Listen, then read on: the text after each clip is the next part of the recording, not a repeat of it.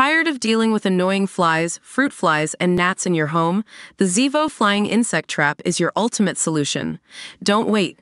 Check out the link in the video description now to get your Zevo Flying Insect Trap on Amazon and enjoy a bug-free home today. A woman who lost her father to brain cancer has opened up on how she grieved her dad before he had even died after the disease left the fit and healthy bus driver, childlike, within just 48 hours. Peter Pattenden, 59 from Wodonga on the NSW Victoria border, died in March 2020 just months after doctors discovered tumors in his brain. Mr. Pattenden was once a fit and healthy bus driver who even featured on the front page of his local newspaper after completing a 52 kilometers swim in the Hume Weir in 2012. He became known as the Wodonga Raiders' unofficial mascot when he dressed up as a Viking and played his electric guitar to the delight of the crowd.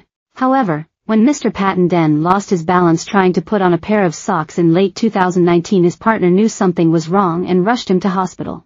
Doctors attempted to remove the tumors during grueling 12-hour surgery at Royal Melbourne Hospital the very next day. He was then approved for six weeks of radiation and chemotherapy in an attempt to shrink the tumors before undergoing two weeks of rehab.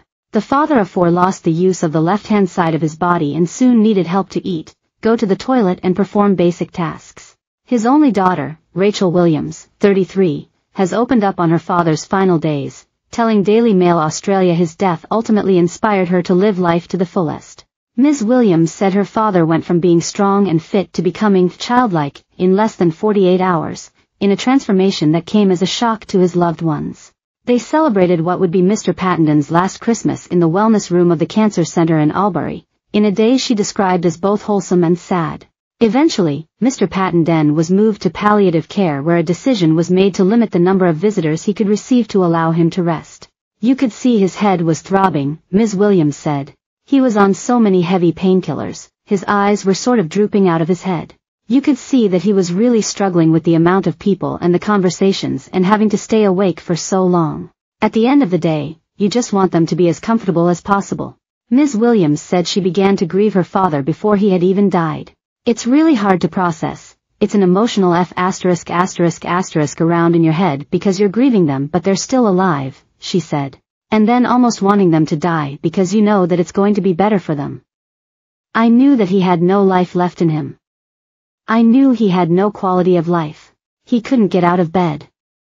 You feel guilty for just wanting it to hurry up and happen, but it's like, if the inevitable is going to happen, can it just happen already? Mr. Pattenden passed away peacefully on March 3, 2020 at Wodonga Hospital. Ms. Williams said his death forced her to reevaluate what she wanted from her life and pushed her to do the things she had previously been scared of. It just opened my eyes up so much, she said. I was just living in La La Land, day in, day out doing the same thing. It was just this huge slap in the face as to how quickly life can be taken from you. Nobody expected my dad to die and nobody expected him to die that way losing all his mobility and any independence that he had, it was just so unexpected. So for me, I took that lesson and I don't want my dad to die in vain. I want to change my life and do things I've been too scared to do and live my life a bit more. We ended up selling our house and moving from Victoria up to Queensland. We just sold our house down there and bought a house on the internet up here.